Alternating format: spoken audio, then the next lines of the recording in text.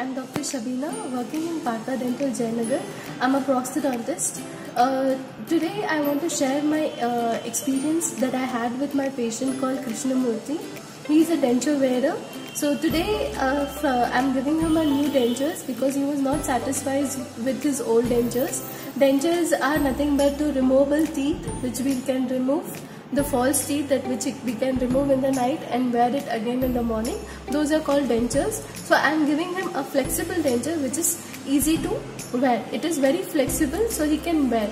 So today i have given him those dentures and i wanted to hear his experience that he had in Partha dental with my under my treatment. Thank you